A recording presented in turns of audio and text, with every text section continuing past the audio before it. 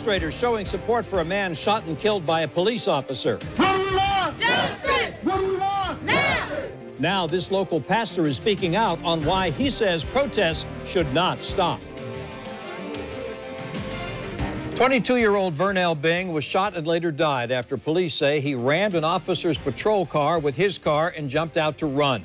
Officer Tyler Landreville fired five times. One bullet hit Bing in the head.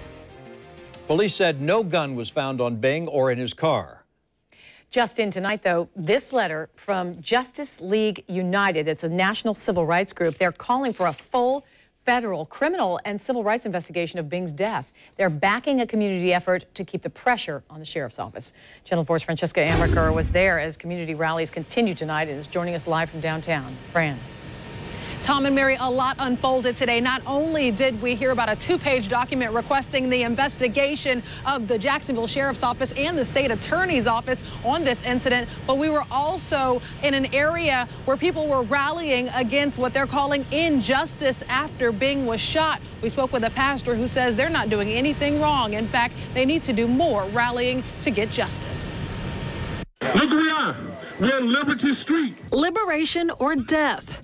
Those are the two words that James Muhammad of the New Black Panther says the black race should not have to choose between. What are we asking for? Justice! When do you want it? Now! Thursday evening, just hours after a gun was found a block away from the area where 22-year-old Vernell Bing Jr. was shot and killed by a JSO officer Sunday afternoon, dozens gathered to rally at this makeshift vigil, placed here in his honor. An ACT local pastor R.L. Gundy says is going to be necessary as the community continues to demand justice. We've been hollering on this for years. I'm not going to try to convince these young people to stop marching. I'm not going to try and convince these young people to stop protesting. Vernell Bing Jr.'s grandmother attends Pastor Gundy's church, and he says he sides with the Bing family. He says no one should be treated like an animal, which is why he says he's been asking the city to make changes since 2004. We want a citizen review board in this community, and the city council has the power to do it. They have the legislative power, and they control the burst the purse of the sheriff. He says this latest shooting is another example of why the sheriff's office must install police cameras for the protection of citizens and the sheriff's office. And again, coming up at 11 o'clock, we're speaking in depth about this two-page document that was filed with the FBI today by the president of the Justice League United. You'll hear why he's saying that the state attorney's office and the Jacksonville sheriff's office are doing conspiracy, or committing conspiracy, excuse me. We're now reporting live at JSO, Francesca Amaker, Channel 4, the local station.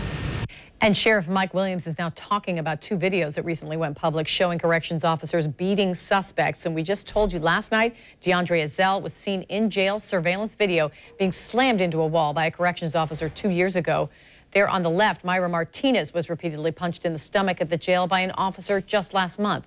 Some are calling for a citizens review board, like the pastor mentioned in Francesca's report. Sheriff Williams says he doesn't believe that would work. We want the right outcome in the case. So we have to take our time. We have to look at the facts. We have to look at the evidence. And that does take time. So while I understand the, the, the, the angst in the community about wanting an answer, um, I think that's really a, um, a symptom of our society today. Everybody wants everything right now. Some things take time. The sheriff has said he is in favor of adding body cameras, which would help with investigations. However, at this point, they're not a part of the sheriff's office budget for next year.